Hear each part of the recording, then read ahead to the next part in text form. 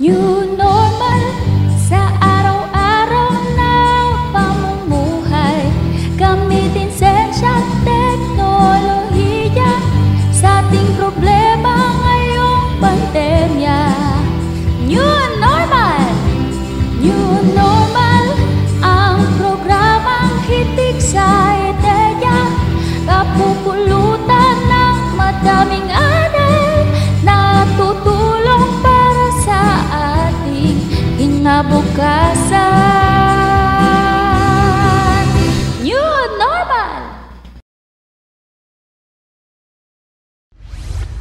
Welcome to New Normal 101, kung saan sa tulong ng siyensya at teknolohiya, lalabanan natin ang pandemya. Biyernes na muli at isa na namang oras na kwentuhan ng may kabuluhan ang magaganap dito sa New Normal 101. At dahil absent ako last time, last episode was hosted by our newfound friends, Sir Zian Guevara and Miss Gil Alonso. If you missed out on our last episode on animal welfare, make sure you click here. Like, follow, and subscribe on PUP Create TV's Facebook page and YouTube channel. Now, New Normal 101 is just one click away, kaya huwag kayong papahuli. For this episode, meron na naman tayong bagong mga kasama. Ladies and gentlemen, he is a student from BA Broadcasting 2-2N from the College of Communication of the Polytechnic University of the Philippines, my alma mater. So just like me, he also loves hosting events. So without further ado, let us all welcome Mr. James Denoyo. Welcome sa New Normal 101, James. Hello, hello. Hello sa inyong lahat na nanonood dito sa New Normal 101. Good morning sa iyo. Good day sa iyo. Um Jeremy and thank you then for having me dito sa New Normal 101. Excited ako to be part of New Normal 101. Napapanood ko yung mga previous episode and truly educational ang ating show. So I am so much privileged para mapabilang and to be one of the hosts ng New Normal 101. And I'm sure ready na rin much like me ang ating mga kaisko at mga kaiska. Because as always, New Normal 101 never breaks its promise. Hindi lang tayo busog sa kaalaman, present pa every Friday para mag-iwan ng mga aral na sure na sure kaming tatatak sa inyo, ganun din sa amin. Yeah, I mean, please James, the pleasure is all ours. And tamang-tama ka dyan, hinding-hindi tayo magpapahuli. Lalo na at nag-start na ang tag-ulan season, as you may all know. Um, dahil dito, may mga lugar na prone sa baha. If you remember the last episode I was in, we discussed about Marikina and you know how it's geologically talaga possible for it to um, have constant flooding talaga. Not only that, not only pagbag pagbabaha when it talks about natural disaster, but also landslides at iba pang mga kalamidad. Kaya naman swak na swak ang main focus natin today, which is all about disaster risk reduction. So ano nga ba ang DRR or ang disaster, disaster risk reduction? Basically, DRR is the concept and practice of reducing, okay, reducing disaster risks through a systematic effort in analyzing and reducing the causal factors of disasters. It aims to reduce the damage caused by natural hazards like yun nga, pagbaha, minsan paglindol, pagputok ng bulkan. Very, very recent, very timely. Droughts, mga tagtuyot, cyclones through an ethic of prevention. Yes, yes. Tama ka dyan, no? Tama ka dyan, Jeremiah. And also to add lang, na itong mga hazards na ito, highly influenced sila ng different factors. Kasama dyan, syempre, yung mga umiiral nating mga policies, yung population demographics, and of course, the heavily existing yung climate change that we are now experiencing. And this risk can change over time. No? Yung disaster risk reduction, kasama dyan yung disiplina natin and disaster management, disaster mitigation, and also yung ating preparedness when at times na nag uh, na nag-occur itong mga ito. But DRR is also part of sustainable development, no? Yung um, para ma, para magkaroon tayo ng development activities to be sustainable, kailangan meron tayong way ng management ng disaster risk um, ng disaster risk, right? It is a process also for us of protecting the livelihoods and the assets of the communities and individuals from the impacts of this hazard. Siyempre, meron tayong mga uh, mga kababayan that are prone, yung mga magsasaka natin, um, yung mga kabilang sa ganitong mga industriya sa Yeah. Pilipinas. No? Yeah. And also, yung disaster risk reduction management, it limits yung negative impacts ng mga events like this. Siyempre, by working to reduce their size, their strength, and how often they occur by building um, uh, by building the capacity of the people to be exposed dito sa mga hazards na ito to help them anticipate, survive, and eventually recover from all these hazards. Very true, very true. I cannot agree more.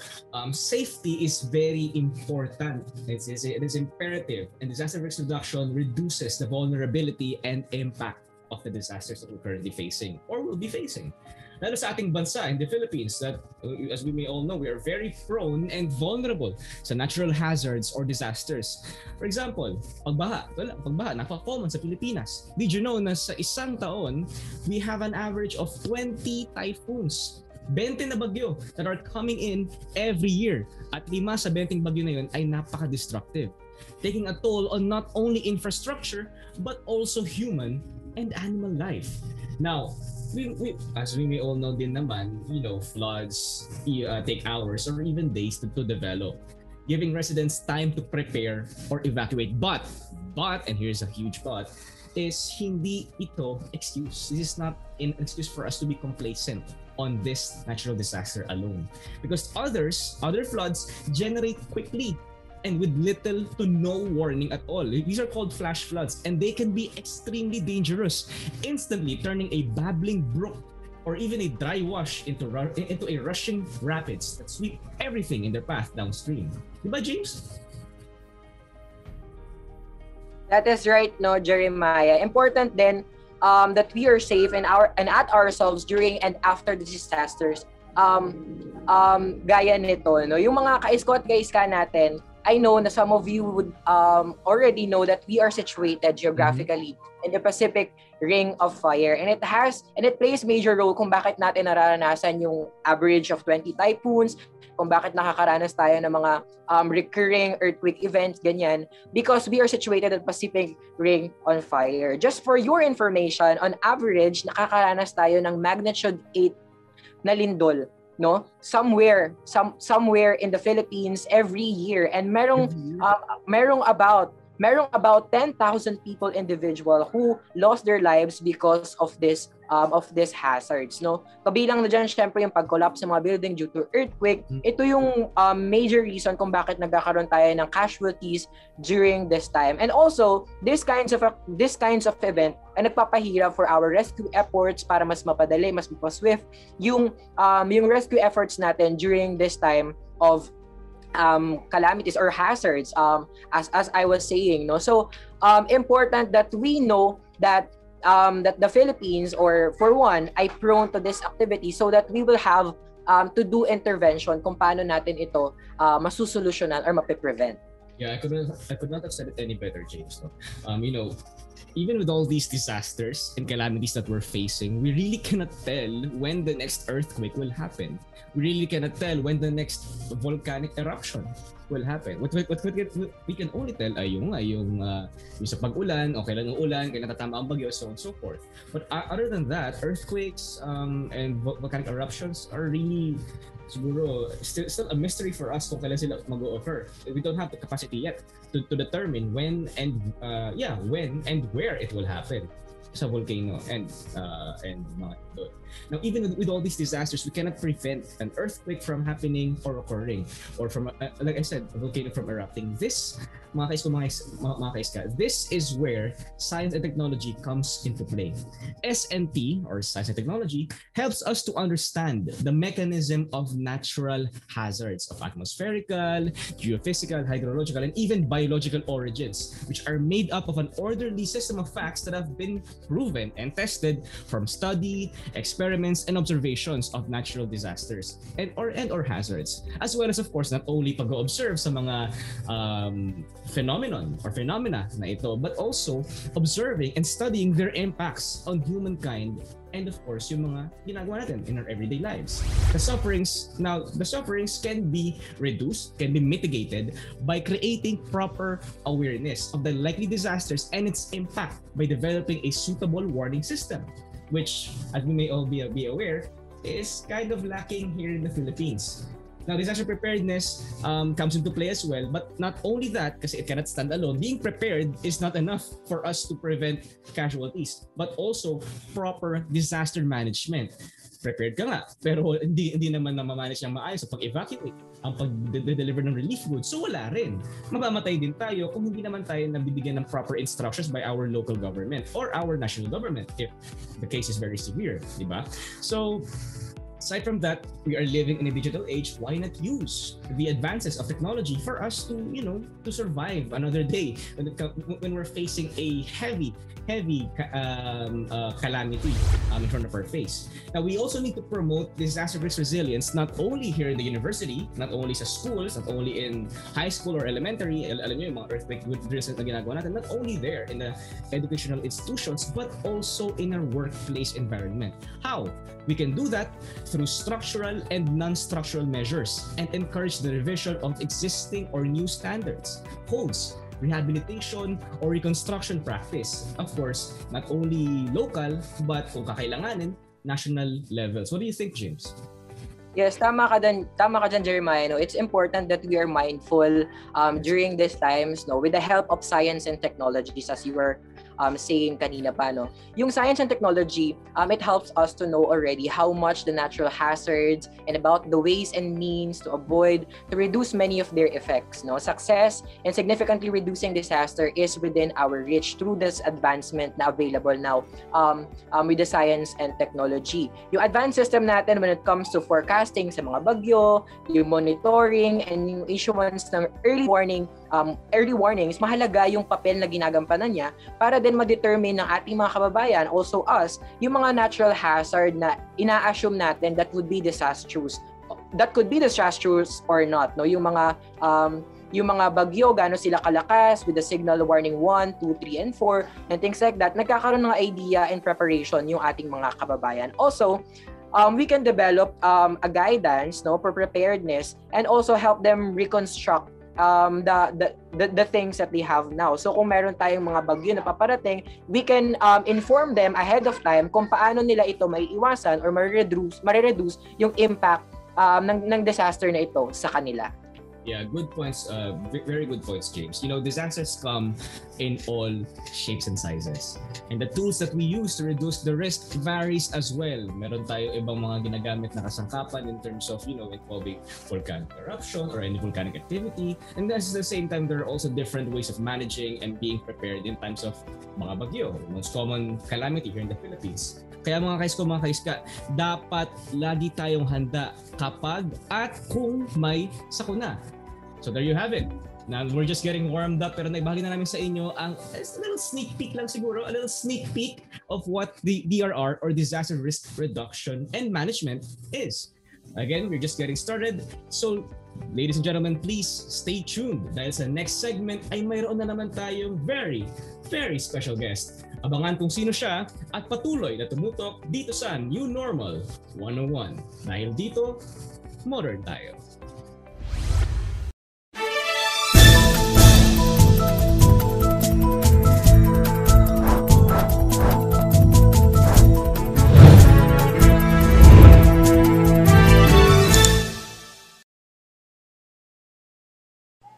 Accrediting Agency for Chartered Colleges and Universities in the Philippines o ACUP, sinuri ang mga programa ng College of Education at Graduate School. Tumakbo ng limang araw ang nasabing college evaluation sa apat na mga programa sa ilalim ng College of Education. Kabilang rito ang Bachelor of Secondary Education, Bachelor of Elementary Education, Master of Science in Mathematics Education, at Masters in Library and Information Science at programang Master of Science in Information Technology at Master of Arts in Filipino ng PUP Graduate School. Layunin ng AKOP na siguraduhin ang kalidad sa edukasyon ng universidad na isang mahalagang bahagi ng sistema ng higher education, lalo na sa mga chartered state colleges at universidad sa Pilipinas. Kasabay ng coaching, mentoring at pagbibigay ng rekomendasyon ng mga accreditors, sa exit conference ipinahayag ni Dr. Marioria Sandoval ang overall team leader ng AKUP na ang limang araw na pagsusuri sa kolehiyo ng edukasyon ay isang oportunidad kung saan nasaksihan nito ang paglago ng universidad. Ilalabas ang resulta ng isinagawang college accreditation sa Agosto. Inaasahan namang Nobyembre ngayong taon, siyam na graduate at undergraduate programs ng Kolehiyo ng Edukasyon ang mai-evaluate for Level 4 visit ng AKU. Ang mga co-ed programs na ito ay ang Doctor of Educational Management, Master of Educational Management, Master of Arts in English Language Teaching, at Bachelor of Business Teacher Education. At yan ang balita sa mga oras na ito. Ako si Joanna Luna para sa The Observer Flash Online.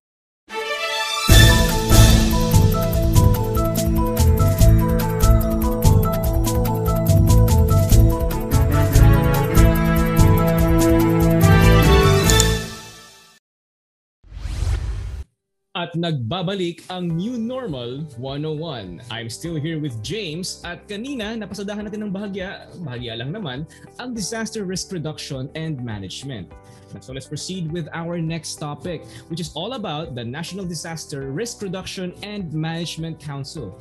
You've heard of them before as the NDRRMC, formerly known as the National Disaster Coordinating Council or the NDCC. Ngayon, sa tulong ng ating napaka-espesyal na bisita ngayon, bibigyan natin ng kulay or ng buhay din para sa atin mga kaisko at mga kaiska ang NDRRMC. So without further ado, let me introduce to you our guest for today's show. He is the NDRRMC spokesperson and one, we're very privileged to have him as one of our professors here at the College of Communication in PUP. Ladies and gentlemen, let us all welcome Mr. Mark Timbal. Hello, sir. Hello, sir. Jeremiah James, thank you very much for that uh, kind introduction and uh, isang magandang araw sa lahat ng mga uh, isko at iska natin dyan sa PUP. Good morning sa lahat. We are very, very uh, privileged to have you on board, sir. So welcome po sa aming butihing program na New Normal 101. So sir, let's let's dive into it already for our number one question. Hindi hindi ito mawala at hindi pwedeng makalimutan. Sir Mark, ano po ang new normal ninyo ngayong pandemic? Mas busy. um, because uh, alam nyo naman, hindi tumigil ang ating pagtatrabaho for disaster risk uh-huh. reduction and management at dumagdag pa itong pandemic management natin. At uh, sa kasalukuyan, we, we also have the Taal Volcano operation. So yeah. kumbaga sa overtime, overtime, overtime, three times na itong nangyayari. But we're still happy, work happily working para sa ating mga kababayan. Yan ang ating new normal for this hmm, time. Okay. Pero sir, uh, sorry, if I may just ask lang, very quickly lang, naging mas mahirap ba siguro ngayon yung coordination sa National Dis- sa, sa National Disaster Risk Reduction Management Council? Ngayong, of course, very distant na tayo ngayon, no more face-to-face meetings, only, ano lang talaga, only online meetings lang? To be honest, mas mas matindi nga coordination ngayon dahil kahit asan ka maabot okay. ka ng Sabagay. video teleconferencing sa ayaw mo sa sa gusto na umattend. Wala excuse Talagang talaga. kailangan kasi mm. no excuse ka na just as long yeah. as there is internet in the area and we have been provided all the connection support.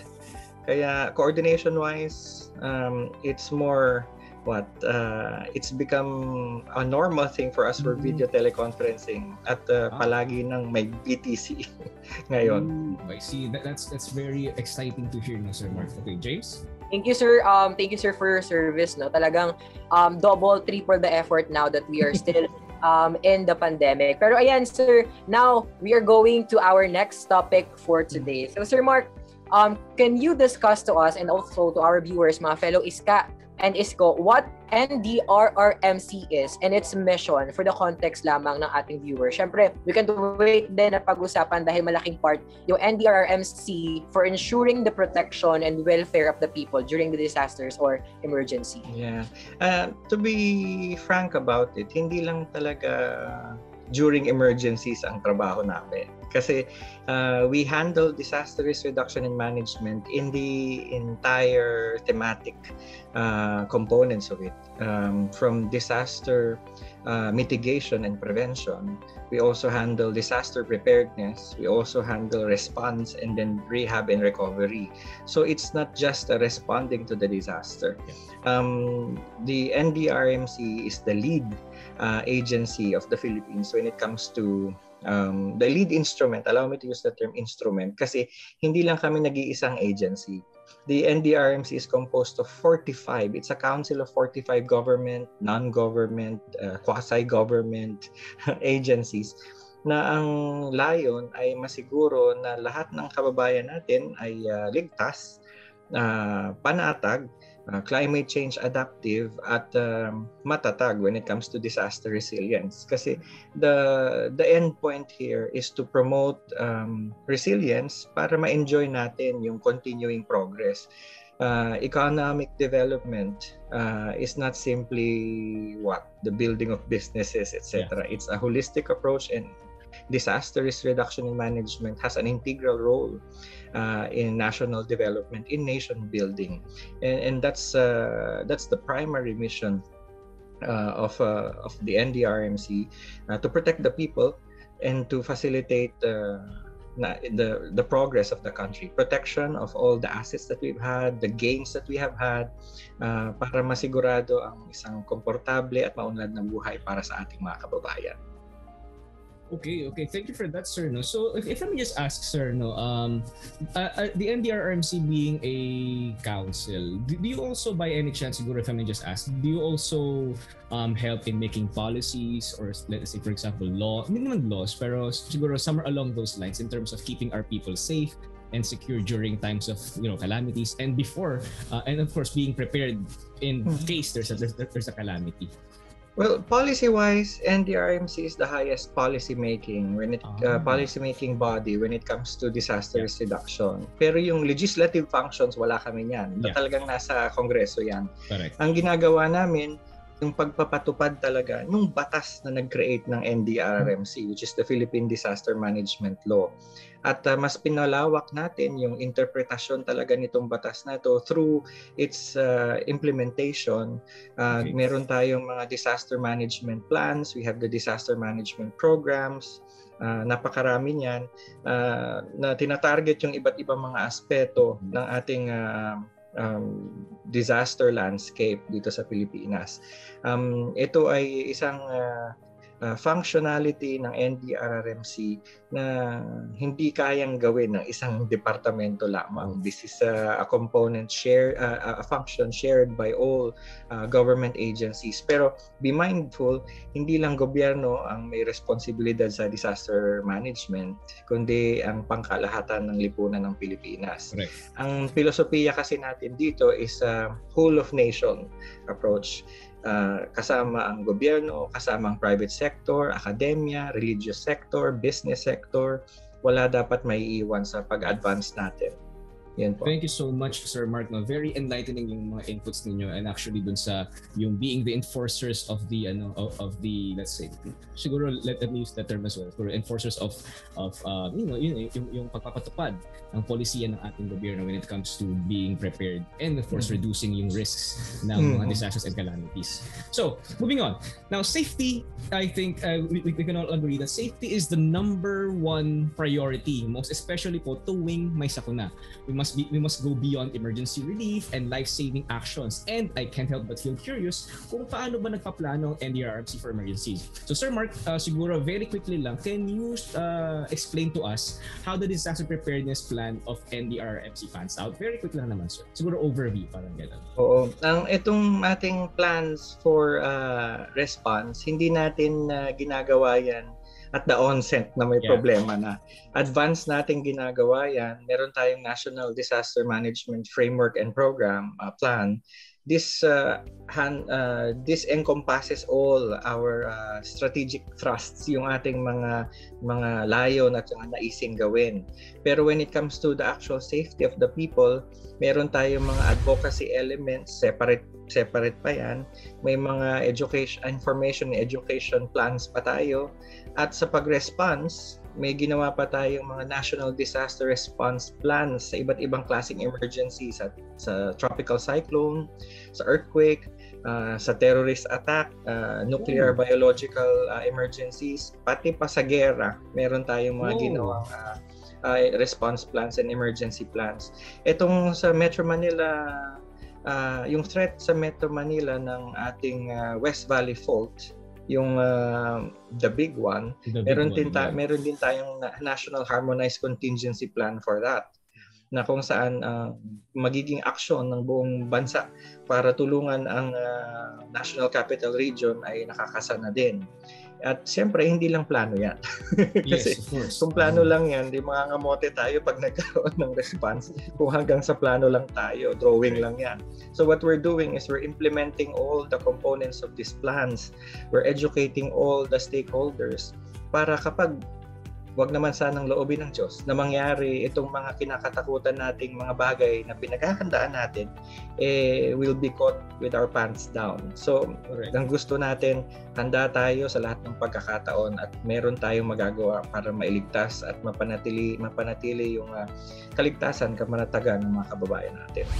I really appreciate Sir Mark yung ano no yung yung what you just said uh, before na or uh, just now is that not only are are, the NDR or, or sorry not only is the NDRRMC preparing for national for natural disasters but also yung mga man-made disasters as well like nuclear warfare in case na mangyari yun as well as mga mga gera. Something na I think hindi nalingid siguro sa kaalaman ng ating mga viewers kasi as we may all know we, we usually hear NDRRMC kapag uh, may mga balita tungkol sa natural disaster mga pagputok ng bulkan pero never well as, as you said naman, sana nga, huwag naman sana uh, magkatotoo. Pero in case na magkaroon ng gera, at huwag naman sana mangyari, is uh, the NDRMC, uh, sorry, the NDRMC still plays a major role in, you know, in preventing further casualties or damage sa Pilipinas. Mm-hmm. Actually, it's, iklaro it's ko din, iklaro ko din uh, Jeremiah and James. Yes, na when it comes to uh, armed conflict, ha, uh-huh. hindi hindi trabaho ni NDRMC na i-prevent na magkaroon yeah, ng yeah. armed Uh, conflict. yes, yes. what what, what we're doing pag sa ganun is consequence management na. Why? Because yung type ng emergency, may mga compli complexities yan Ah. na for example, pag terrorist activity yan, uh, this is more of a law enforcement uh, situation Yes. and security situation. So, as an example, itong Marawi siege, di ba? Uh, this involved uh, military action in defense of, of the state. So, ang ginawa ni NDRMC is to protect and uh, make sure that all those who are affected by the armed conflict, the siege itself, will be provided their uh, necessities, shelter, etc., and will be protected then from uh, the other adverse impacts uh, psychologically uh, at saka economically uh, nitong armed conflict. Uh, but yung batbaka na yan, yung banatan, hindi kami susugod doon. Yes, yes. Definitely, definitely. Although I was there in Marawi during during that time. During the time of uh, the as Part of the siege. deployment, yes. Mm. Um, pero ang trabaho ko lang during that time is to coordinate uh, the humanitarian effort. Yan, yun Uh-huh. yung inaasikaso natin doon. Um, takot tayo dyan sa mga bakbakan eh. Mahirap, mahirap na maipit sa gitna ng uh, mag, mga nagliliparang ground bala. zero, yes. Totoo naman, totoo. Pero that's naman. part of the excitement of the job, really. That's part of the thrill, ika nga. yes. Okay, Thank you, Sir Mark. Okay, James. Nice, sir. Yes, um, gusto ko lang dun i-highlight yung sinabi ni sir that it is not a one-man effort, no? Collaborative siya. So, dapat din malaman ng mga ating kaisko at kaiska who are actually watching um, today na lahat yung mga communities natin, mahalaga yung role niya din in fulfilling or preparing for disasters and reduce their impact, no? Um, disaster often follow natural hazards kung saan magre-resulta ito ng consequences ng marami pang mga casualties. So, um, Sir Mark, my question to you is, um, or can you help me ex- explain it sa ating mga kaisko at kaiska? Why is it important to have a disaster risk reduction dito po sa Pilipinas? Yan. Ah, tama yung sinabi mo, it's not a lonely effort on the part of government. The responsibility is a shared responsibility uh, between citizens at saka yung authorities and all sectors of society. Ngayon, yung yung sinabi mo tungkol sa what- what's that again, uh, James, yung Yung sa Ah, disaster risk reduction po here in the i- it's important na ang ang disaster talaga mape-prevent natin ang disaster. Yung natural hazard imposible magawa yan dahil parang ah, suntok sa buwan talaga yan pigilan mo yung bagyo. 'Di ba may joke nga na sinasabi yung mga tao. Akala namin binabantayan ng pag-asa yung bagyo, paano nakapasok yan? And, and and that's that's an insider joke that we are laughing at. But um, the fact is, a storm is just a storm. An earthquake is just an earthquake it becomes a disaster if the effects um, go beyond the capability of of the community to cope. Kumbaga sa pinatumba wala nang bangon-bangon. Yun ang disaster. 'Di ba? Hirap bumangon. Um, one of the nicest uh, things that I can showcase is that the Philippines is learning, always learning the lessons of, of disaster risk reduction. Mahalaga na may DRRM tayo. Bakit? Imagine mo yung location ng Pilipinas, napaka-special. Sa lahat ng, kung binibiro tayo sa Southeast Asia, napagawaan daw tayo ng bagyo. Bakit? Kasi bago tumama sa mainland Asia yung bagyo, nanggagaling muna sa Pilipinas, 'di ba? And kapag pinanganak ang bagyo sa South uh, sa Pacific, syempre um, magpapatatak muna yan sa passport niya dito sa Pilipinas. Taan muna siya dito sa atin. Um, where we are in the Pacific Typhoon Belt. Mer andito rin tayo sa Pacific uh, Ring of uh, sa Ring of Fire, mm-hmm. 'di ba? So, kumbaga, ang wala lang lahat ata ng natural hazards nandito sa atin, liban sa avalanche kasi wala namang snow dito, 'di ba?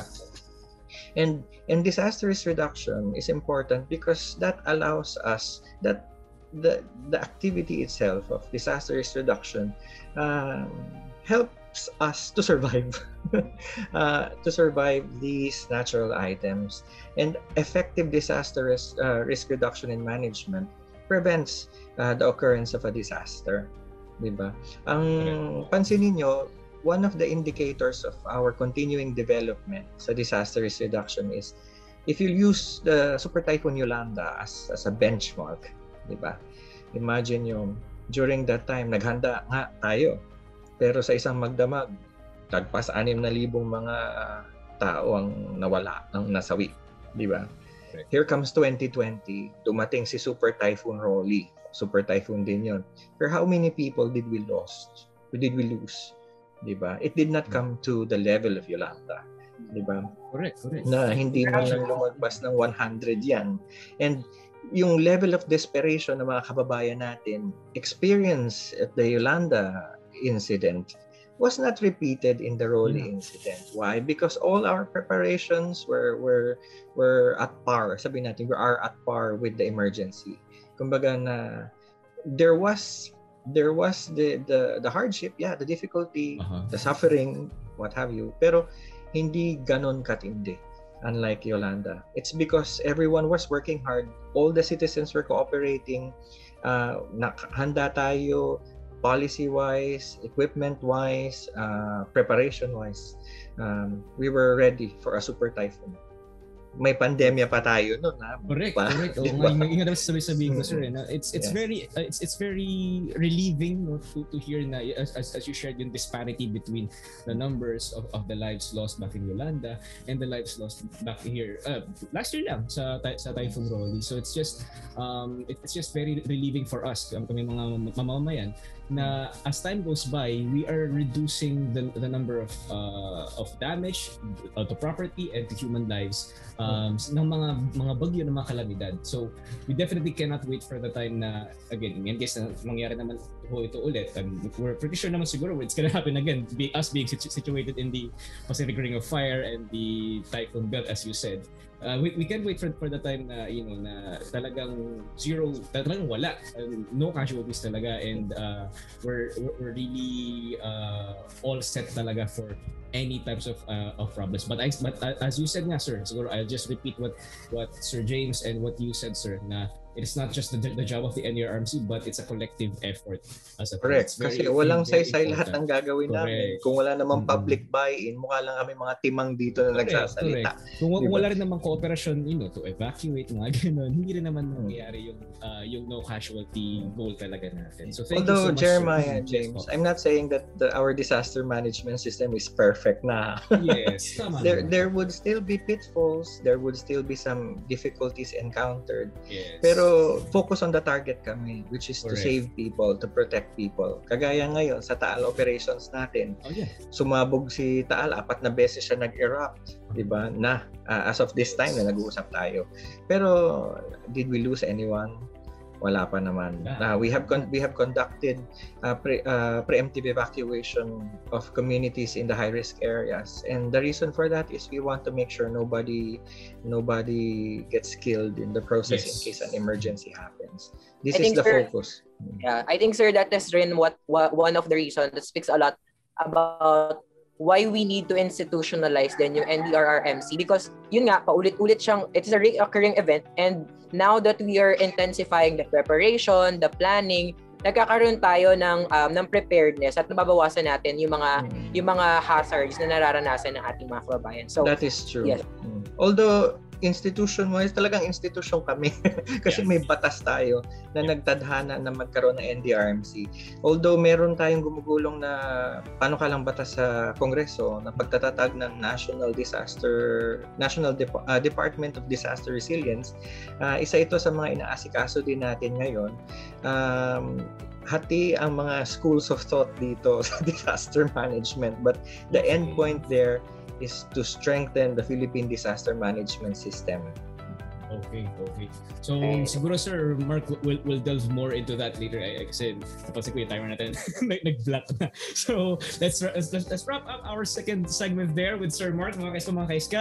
As as uh, Sir Mark mentioned, NDRRMC just like their well, siguro from what we gathered today, NDRRMC just like how lengthy their name is, they go in lengths for our safety and for of course to reduce the uh, damage done by um, the calamities, disasters, and to prevent um, any further casualties from happening. Now, for our next segment, we will discuss how science and technology is used for disaster risk reduction and management, especially. Now, we'll, ask questions like why is it important and how can it be improved for the safety of our people here in the Philippines? All of that will be discussed when we come back, so stay tuned. Dahil dito, modern tayo.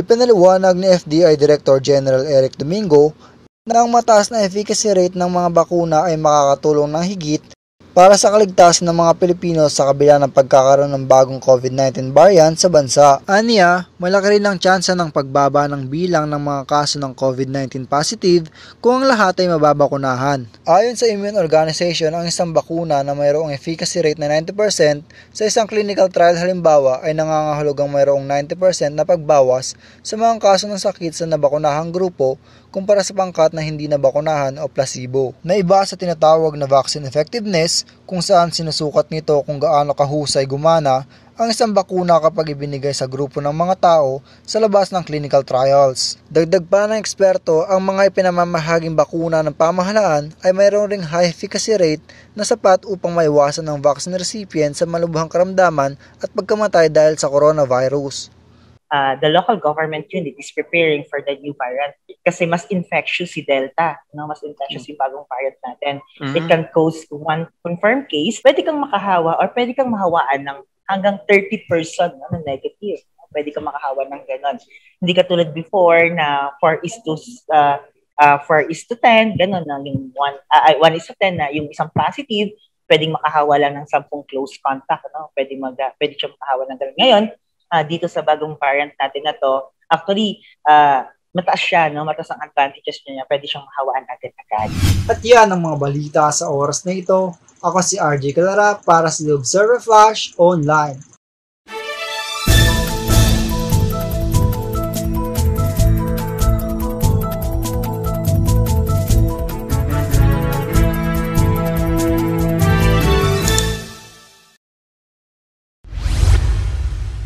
Alright, welcome back to New Normal 101. For this segment, we will talk about how science and technology is used for disaster risk reduction and management. Of course, we are still joined in this wonderful session by James and of course, Sir Mark, one of NDRMC spokesperson. Um, so, Sir Mark, siguro, let's get straight to the point. Can you please uh, enlighten us, sir, um, how science and technology um, help reduce or prevent um, the impact from a disaster or a calamity? Actually, um, I'm proud to say that our disaster risk reduction and management system is science-based. Wala tayong wala tayong pagdedesisyon dito na batay sa kutob o sa trip. Yeah. trip lang. Ang uh, in, in in terms of uh, disaster prevention and mitigation, uh, sa NDRMC ang lead talaga natin diyan ay ang uh, Department of Science and Technology. Why? Because they're the ones who possess the the the technical expertise uh, to fully describe the danger, uh, the danger, the hazard, and to recommend uh, all scientific inter, uh, interventions that are supported by scientific data. Diba? So ang Mhm. ginagawa natin dito, um, aside from the monitoring, surveillance of, of possible hazards, uh, yung intervention uh, to heighten, uh, to reduce the risk of damages ay science-based din. Yung mga engineering interventions pa lang natin, for example, um, these are, are created by, of course, engineers, experts in the field, yung mga flood control programs natin, yung mga flood control, flood mitigation uh, infrastructure natin, uh, yung ating mga advisory or the creation of the uh, of the guidance or standards for in, for construction syempre supported yan ng ating uh, mga experts. Kaya nga ngayon, we're bringing it down to the level of community, pero hindi yung, kumbaga, yung sinulat na scientific uh, item, isa, iaabot lang natin sa community. Syempre, hindi tayo magkakaintindihan doon Correct. sa the technical jargon. What we're doing as part of our communication effort is to laymanize all these items para magets ng mga kababayan natin so that they can embrace this information and actually live live it as a part of their lives. So kasama din dyan yung pagpapalakas ng kahandaan natin is syempre yung mga scientific instrumentation Yeah. na ginagamit. Kaya nga ngayong panahon na to, at par with international standards yung ating equipment uh, when it comes to monitoring. Uh, our operation center, for example, at Camp Aguinaldo, uh, is already a state-of-the-art uh, monitoring and uh, nerve center for disaster uh, coordination operations. Uh, yung ating pag-asa, yung kanilang weather monitoring uh, and instruments ay pasok talaga Correct. uh, sa pangailangan ng Pilipinas, yung Doppler radars natin, 'di ba? Hindi na lang pipito-pito, syempre napakarami na niyan to cover the Philippine airspace.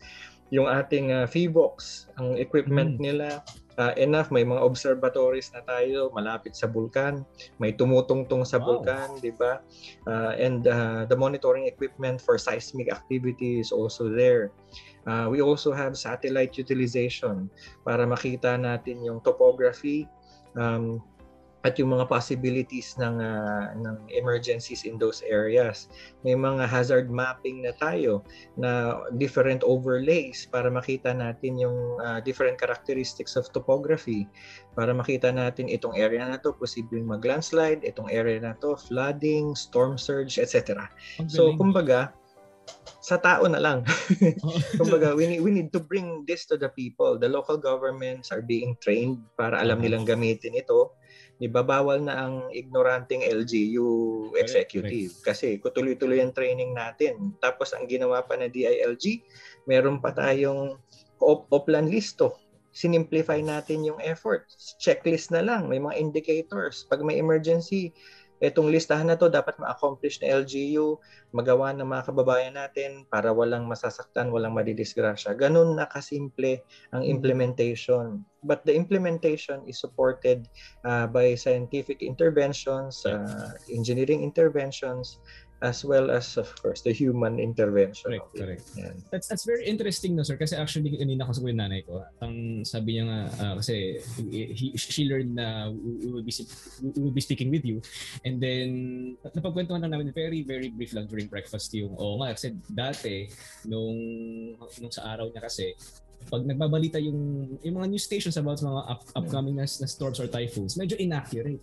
Pero ngayon, pag, na, pag napapanood niya si ano si si Mang Tani sa 24 oras, ma- oh, may bagyo sa ganitong araw, may paparating na bagyo, expect na magla-landfall sa ganito, sa ganito, ganyan. Very accurate na siya at, at talagang at, at that way, we are more prepared and we're really expecting it to happen. Isa naman sa dati na, ay hindi, ano, baka chances lang yun, chances lang. So you, you can see over time, SNT or Science and Technology has greatly and um, yeah, greatly impacted and improved yung ating monitoring uh, capabilities. No? Ng, ng, We're also. Mm-mm. we're also managing expectations kasi Hmm. alam niyo naman uh, see the size size uh, seismic studies, volcanic studies and weather studies are are not exactly exact sciences. Yeah. Kapag malayo pa yung bagyo, hindi mo talaga masasabi kung saan dadaan yan, hindi mo Right. masasabi gaano karami ang bibubuhos na ulan yan or saan yan trip magbuhos ng ulan for that Mm. matter. But uh, bec- habang lumalapit siya, doon nagiging definite yung ating mga projections. Yun ang ginagawa ng ating mga weather specialists. Ang itong gina, nangyayari na ito ay coordination talaga. Bakit?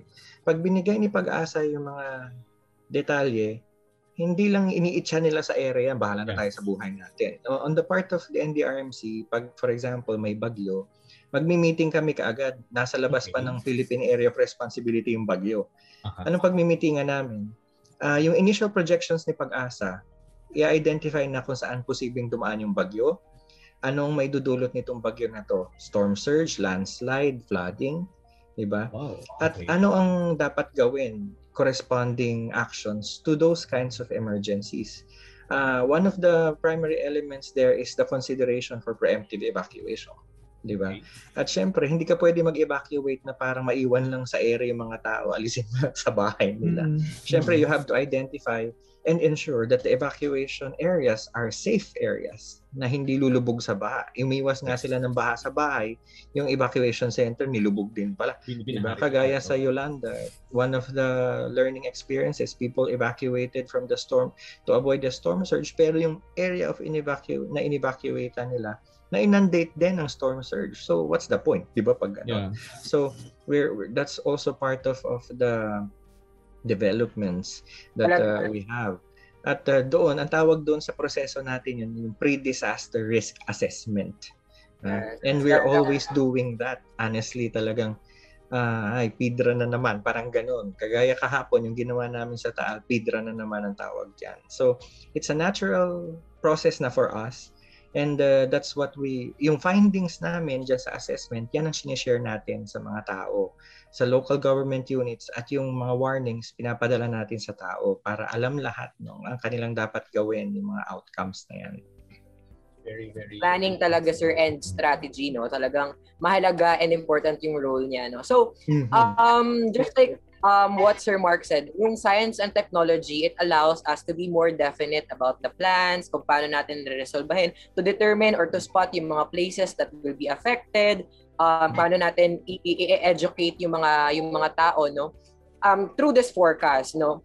Um, and also through this, yung sa kulungan ng Science and Technology and Forecasting and Monitoring, maraming buhay na ang naligtas niyan because um, um, away from natural disasters tulad ng volcanic eruption, that like like what's happening now, yung violent storms, like what happened in uh, in Raleigh and Yolanda, dahil nabibigyan tayo ng mga warnings hours and days ahead before the disasters or hazards occur.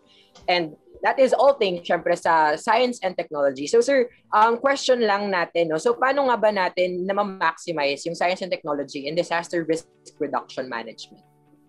maximization, um, hindi natin kailangan na i-maximize. Bakit? Kasi to be, it's part of the system. Hindi kikilos, for example, ako as a disaster manager, hindi ako kikilos basta-basta kung walang scientific data na magsasabi sa akin that this is the proper thing to do. Um, and the the systems that we have established are all uh, supported by uh, sci- scientific uh, data. Um, so hanggang sa pinakahuling hibla ng detalye ng uh, scientific items na yan, ginagamit natin um, yung para ma-determine hanggang kailan siguro ito, kung kakayanin. Ha? Kasi for example, yung volcano emergency, hindi natin masasabi kung hanggang kailan. Yeah. Pero ang masasabi natin, given that hindi natin alam, the level of preparation should be commensurate to the possibility of uh, of protracted emergencies. Okay. Meaning to say, we always look at the worst case scenario para mabuti na maghanda ng sobra wag lang tayong kulangin. Kaya nga, ah, pero ayaw naman natin mangyari yung kagaya ng mga eskandalo noon na sobra-sobra nga, tinapon mo naman, nap- napanis naman, nabulok naman, etc. Hinord naman. Um, this involves the effective ah, management of resources din para yung nangangailangan talaga makatanggap. At kung kailangan ilabas yung mga equipment, mga supplies, dapat matanggap yan at makarating dun sa area. Kasi may logistic considerations pa, yung logistical considerations. Meron pa tayong mga timelines niyan. For example, yung vaccinations, you also handle the uh, logistical support for the vaccination program din. Okay. So may timeline yan, may mga peculiarities for the handling of the, the shipments pa. So we all attend to those items and these are all supported and guided by scientific data. Siguro sir, kanina, what I just want to highlight, no, napaka-supportive siguro ng ating national government when it comes to these type of activities, yung, yung risk reduction and, manage, and management ng mga disasters. Pero sir, siguro we've tackled about the, the, the support and the cooperation of, of, of our administration. Pero how about our LGUs, sir? How cooperative or how supportive are they when it comes to these types of uh, activities? The, the beauty here is that since there's already the guidelines that they have to Ah. follow and matindi ang pagbabastonero na ginagawa ng DILG, local government units are more uh, cooperative and talagang dinidibdib nila yung pagiging frontliners when it comes to disaster management. Na-mention nga ni James kanina yung warnings, di ba? Super advanced na ng warnings natin. Sa dami ng warnings natin, nagre-reklamo nga yung mga tao, warning nga lang ng warning. Kaya sa cellphone, sa cellphone. Yeah, Okay. right. That's also one of our landmark Hmm. uh, adjustments, yung developments. And walang saysa yung warning kung hindi kikilos yung tao. Correct. And that's what we're pushing now, yung human participation, human intervention, human support for all those activities. And um, malinaw naman kasi yung mission natin eh. Take people away from harm's way. Yes. Number two, while they are under the care of government, provide for their needs. And number three, after the danger has passed, let them go home and get back to their normal lives as soon as possible. Yun lang naman yung sinabi ng ating uh, chief executive sa amin during that time. Um, when, during he, when the time he uh, assumed his position in 20, 2016. 16, 2016, Diba? yes sir. So, the president just gave that order and hindi naman kami mga pako na kailangan yung pukpukin pa. yeah, So, totoo. we know our jobs, so that's what we've been doing. Correct. Thank you so much for these valuable inputs, Sir Mark. So there you have it, mga kaisko at mga kaiska. Although natural disasters like violent storms and uh, volcanic eruptions or earthquakes, so on and so forth, and other disaster cannot technically be prevented, we can reduce or even prevent the effects of these natural hazards through the use of science and technology and of course proper preparation. Tama ka Tama dyan, ano? Tama ka dyan, Jeremiah, no? And not only that, no? Um, through the application of science and technology and disaster risk reduction programs, specialists can now collaborate with policymakers so that they can create policies that can save many people's lives in times of danger. Now, for our last segment, the most awaited segment is coming right up. Curious PUPians are back at it again to ask questions for our special guest about disaster risk reduction. Yeah, I know I'm, I may not be here during last episode, pero I watched the stream. But yeah, last episode, our theme was about superheroes. Kaya naman, naku-curious kung anong theme naman ang inihanda ng New Normal 101 for this episode. Abangan yan sa pagbabalik ng New Normal 101. Dahil dito, modern tayo.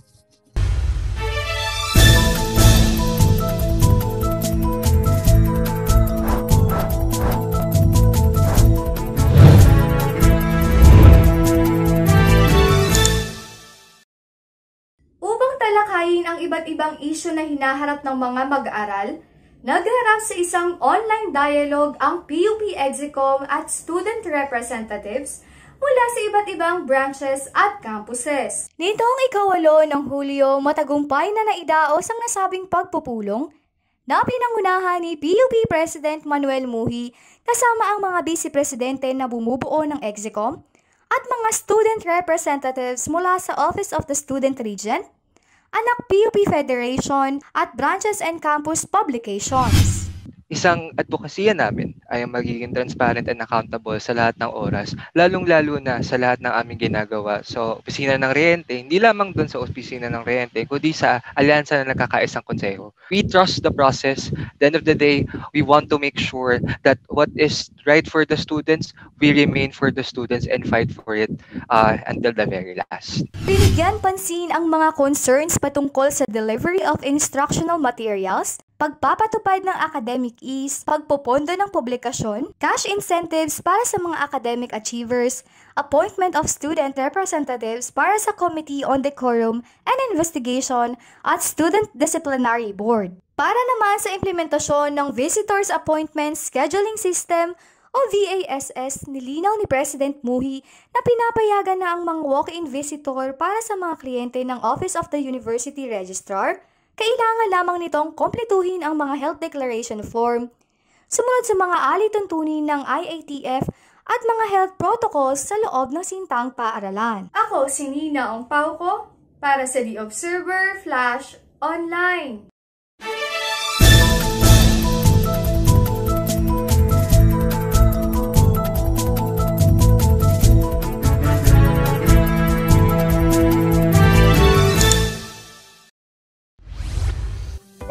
Welcome back to New Normal 101. And we are back again, of course, with James and our very special guest for today's episode, Sir Mark Timbal.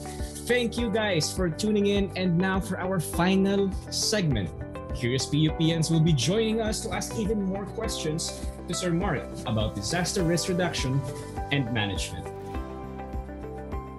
Tama ka dyan, Jeremiah. Ang segment natin ay tatawagin nating Call a Friend. So if you are looking on your screen right now, we have three different themes and each theme represent a curious PUPN. So here are the themes. First, todo na to. Second, share mo lang. And the third one is take it or leave it. So Sir Mark will only answer every question that each PUPN will ask. So now, for our first team, this is called Todo na To. Let's hear it from our fellow Kaisko.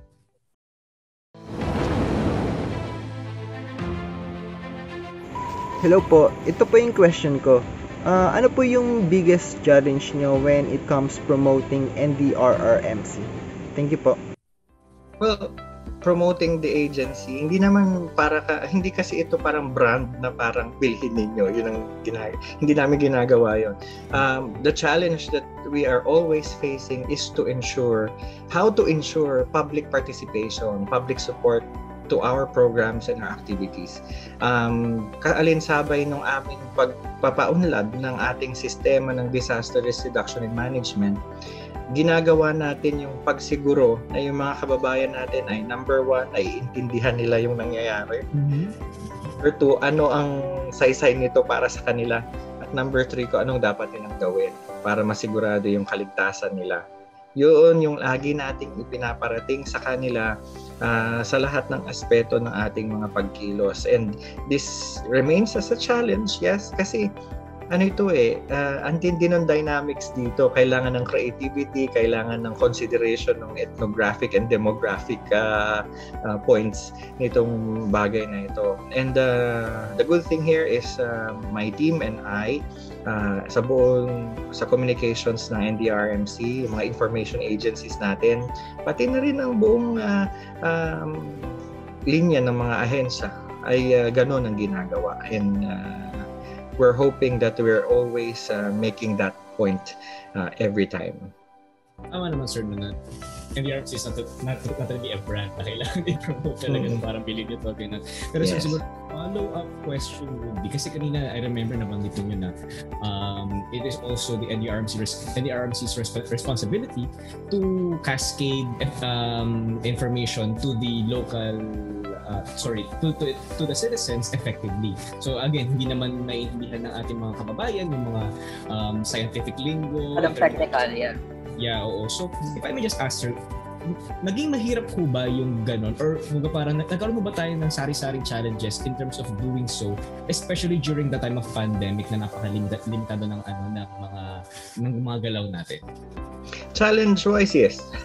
Kasi um uh, we we need to metamorphose. We need to evolve para maabot natin yung level ng kamalayan ng mga kababayan natin. Depending on the target audience kasi yan eh. And true enough, this is a multi uh, sectoral and uh, multi-audience approach lang ginagawa natin. Hindi lang pwedeng pang youth lang, hindi lang pwedeng pang magulang, etc. And we it was a challenge. Science din ang ginamit natin, the uh, sociology and the communication uh, management were all applied para ma- ma-custom natin yung messages natin for the people. Mm-hmm. Ang ang nagpapasalamat kami kasi hindi kami mag-isa. we we have the the help of our uh, advocacy partners at kasama na din yung mga kapatid natin sa pamamahayag sa media. Uh, even though uh, there is this political thing uh, when it comes to what our discussions of issues. Yeah. Ang NDRRMC ay uh, sheltered at protected pa rin from these kinds of disturbances. Mm-hmm. Sa, ang focus lang namin ay, ay trabaho, wala kami pakialam sa politika na nangyayari but ang nangyayari is tinutulungan kami ng media at ng sambayanan uh, para mapaabot itong mga messages na ito. Correct, correct. I, I think what, what really matters talaga uh, or priority would be citizens first before anything else. No? So, okay, thank you so much, Sir Mark, for your answer on our first question. Now, for our next theme, this is called Share mo lang. Let's hear it from our BUPN.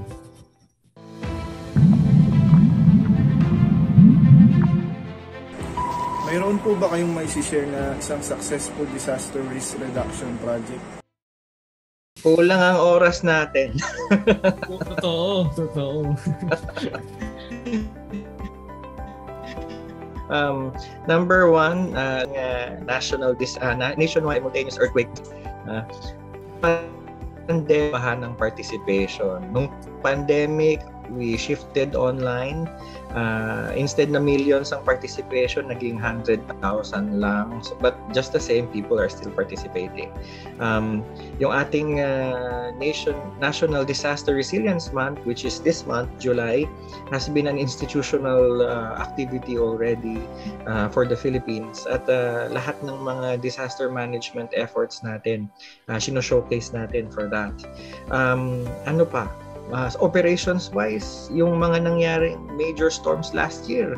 Pati yung earthquake operations natin noong 2019 as far as I'm concerned these were all successful disaster management activities because number one uh, hindi ganun katindi yung number ng mga namatay because people have been uh, made aware people have been warned and people were assisted every step of the way.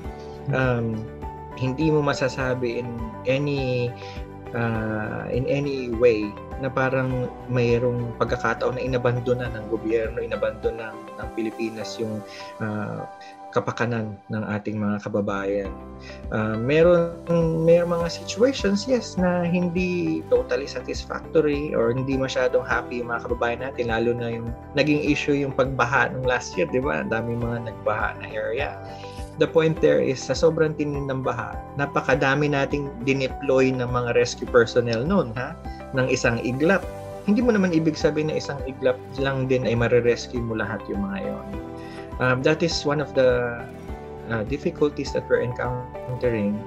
Hindi naman pwede one is to one ang rescue eh. Isang rescuer group para sa isang i-rescue eh, paano kung 100 yung ano, rescue mo? 100 din ba yung rescue teams na i-release mo?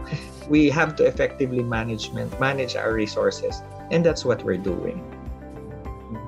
And, and, and I'm siguro, we're, we're all confident naman siguro sir na this is also the same level of um, alertness and uh, talagang um, yung pag, pag, pagiging porsigido natin in terms of ngayon yung sa nangyari sa, sa Taal. Now, I don't want to ask any siguro any questions about uh, about Taal as of now kasi baka mamaya when we air this material eh um, iba na yung sitwasyon natin ngayon. So, so in order for us to prevent that, siguro I'll, I'll veer away from asking further questions about that. So, um, mm. and but, but I'm pretty sure naman, uh, I think I'm, I'm very confident with what with what we've discussed over time in this short, short very short session that, that, that we have right now. I'm very, very confident as a, as a citizen na um, the NDRRMC, the LGUs are on top of everything and anything that will happen in case disaster happens. At sana hindi naman ganun katalas na mangyari. so, yun, Speaking for the James. NDRMC, speaking for the NDRMC, we're always on top of the situation. There there's no other way but be on top of the situation. Kailangan talaga. Dahil Kailangan talaga. pag hindi kami on top of the situation, that will be a serious uh, negligence on our part. Correct. Yeah, yeah. Okay. Thank you so much, Sir Mark. Uh, James? That's quite plenty, no? Sobrang daming projects ng NDRRMC that we are now benefiting from. Now, um, for our last theme, this is called Take It or Leave It. Now, let's hear it from a call of, of a friend.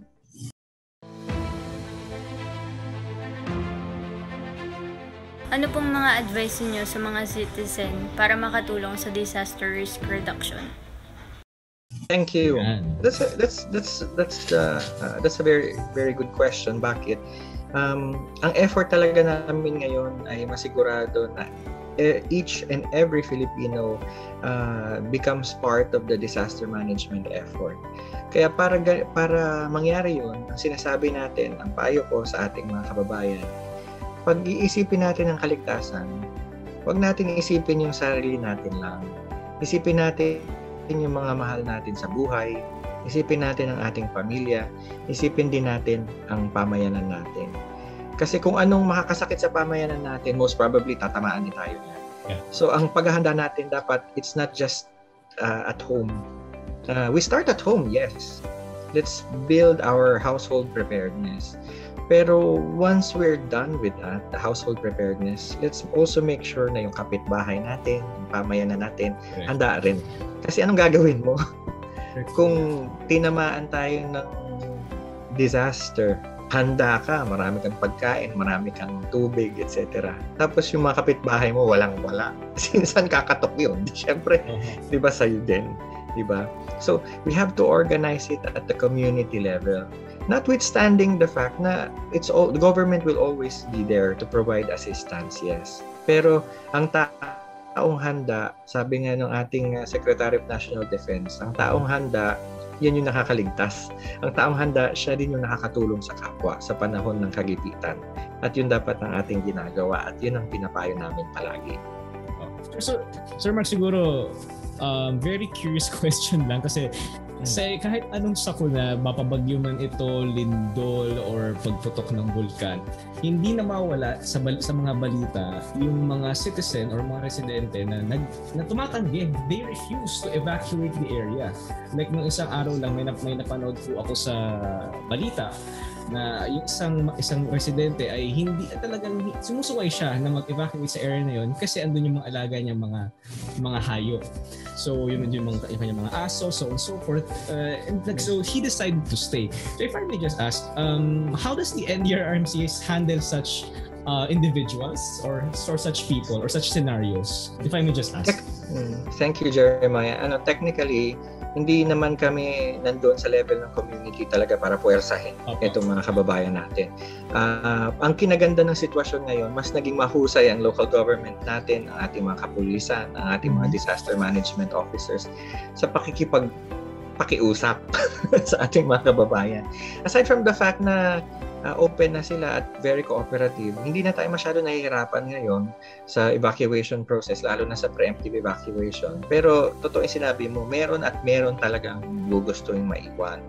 Yung circumstansya kagaya noong panahon noong nakaraan na nagkaroon ng matinding pagbaha sa may Bicol area during those times of the typhoons la- last year, yung mga nagpaiwan yun na ng mga nadisgrasya eh.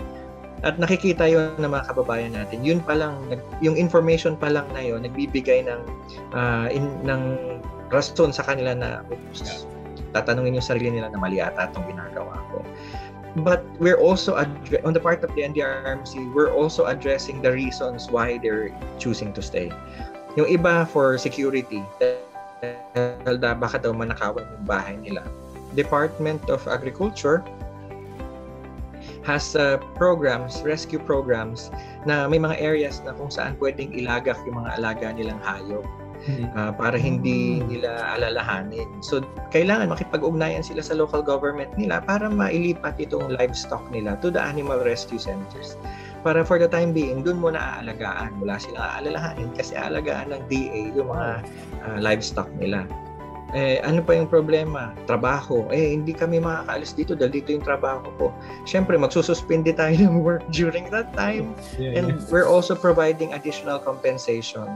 May cash for work, cash for cash food for food for work etc na ginagawa ang ating gobyerno for those people so we're addressing the multifaceted concerns involved in the evacuation process Well, thank you so much for um, for informing us about that, Sir Mark. Uh, siguro, masasabi ko, it's not yung isang oras na meron tayo ngayon sa talk show. I don't think it's enough for us to talk about all of these kasi napakadami pala ng mga mga ng mga bagay na involved sa mga sa mga activities. So, uh, so again, we're very privileged to to have spoken with you and to have asked this question. So, thank you, thank you so much, Sir Mark. Um, so yeah, that wraps up our episode for today. I know medyo, siguro med- medyo bitin. Ako, na- nabitin ako sa totoo lang eh. But I hope... Ako nabitin din ako. Di ba? Nakakabitin eh.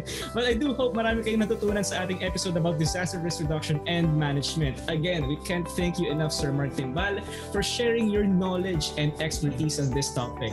But before we wrap everything, um, is there anything siguro, sir, that, that you would like to say to our audience?